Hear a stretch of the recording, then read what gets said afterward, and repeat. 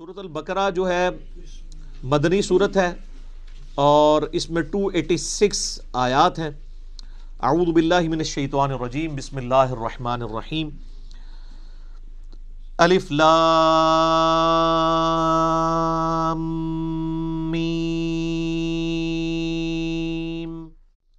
तो ये हरूफ मुक़त्तात हैं। इसके ऊपर बड़े लोगों ने तब आजमाई की है, बड़ी कोशिशें की हैं। ज़ालिकल किताब रई बफ़ी ये वो किताब है जिसमें शक की कोई जगह नहीं है। देखें कितने जाहो जलाल के साथ किताब ओपन हो रही है। कॉन्फिडेंस लेवल आप किताब का देखें। किताब स्टार्ट हो रही है कि भाई ये किताब जो आप पढ़ने जा रहे हो, कोई शक नहीं। अब का उम्मतें हैं ना ज्यूज और क्रिश्चियंस उनको इसमें कोई शक नहीं है। जिस तरह के सूर्य नाम में आता है कि नबी इस्लाम को ऐसे पहचानते हैं जिस तरह अपने बेटों को।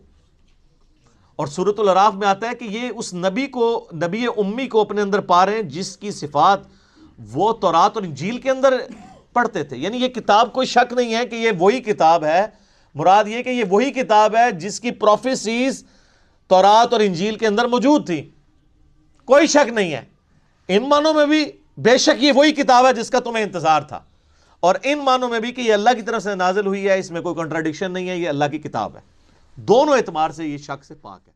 लाई बफी हुदलमुत्तकीन अगर फ़ी ही को आप आगे मिला लें ला रईब पे आप वफ कर लें तो फिर ये माना बनेगा कोई शक की जगह नहीं है फ़ी ही हुदलमुत्तकीन इसमें हदायत है परहेजगारों के लिए फ़ी को पीछे कर लें तभी माने में कोई फ़र्क नहीं पड़ता हुदलमुत्तकीन ये कुरान हदायत है उन लोगों के लिए जो डर जाए ये तर्जुमा, असल तर्जुमा है इसका। तो हुदल मुत्तकीन, ये हदायत है उनके लिए जो डर जाए। जो भी डर जाए, उसको लिए कुरान के अंदर हदायत है, और जो ना डरे, उसके लिए कुरान में कोई हदायत नहीं। ये बड़ी खतरनाक बात है।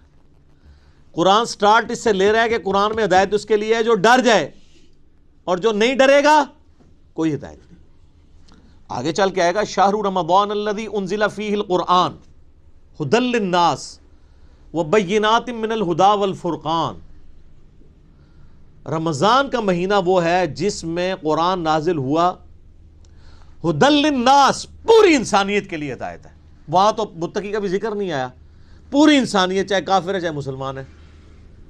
वह बैनात मिनल हुदा, और इसमें हदायत के बड़े बड़े रोशन दलाइल हैं।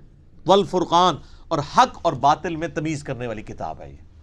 अच्छा ये अलफुरकान नबी इस्लाम भी है। सही बुखारी में हदीस है मोहम्मद फ़र्क़ुन बैन अन्नास मोहम्मद सल्लल्लाहु अलैहि वसल्लम लोगों में हक और बातिल में फ़र्क है। ये किताब भी अलफुरकान है। तो हदलमुत्तकीन उनके लिए हदायत है जो डर जाए। अल्लादीन युमिनून बिलगैब वो डर जाने वाले लोग कौन है? उनकी निशानी आई है कि वो गायब पर ईमान रखते हैं। गायब कहते हैं अनसीन चीज़ को। जो गायब पर ईमान नहीं रखता, उसके लिए कुरान में कोई हिदायत नहीं है। सलाह नमाज़ कायम रखते हैं फिर वो। वमिम्मा रजकना फ़िकून और वो खर्च करते हैं उस रिस्क में से जो हमने ही उनको दिया था। क्या बात है। साथ ही कह दिया कि अगर कर रहे हो तो किसी को अकड़ ना आ जाए, दिया भी हमारा हुआ है। वल्लदीन युमिनून बिमा उनजिला इलैक। नबी इस्लाम, वो लोग हैं जो ईमान लाते हैं, उस पर जो आपकी तरफ़ नाजिल हुआ व माँ उनजिला मिन कबलिक, और उस पर भी जो आपसे पहले नाजिल हुआ। अच्छा इधर ये नहीं आया कि और उस पर भी जो आपके बाद नाजिल होगा। इसका मतलब है कि नबूत ख़त्म हो चुकी है। वह बिल आखिरती हम यूकिनून, और आखिरत की ज़िंदगी के ऊपर वो यकीन रखते हैं। सर, देखें किताबों पर ईमान लाते हैं और आखिरत पर? क्यों? आखिरत पे ईमान लाना काफ़ी नहीं है। यकीन होना ज़रूरी है। यकीन नहीं होगा, आपका केवला दुरुस्त नहीं होगा। इसमें देख लें आप, अकीद तोहद भी क्लियर है, अकीद रसालत भी क्लियर है, क्योंकि आया के ईमान लाते हैं जो तुम पे नाजिल हुआ।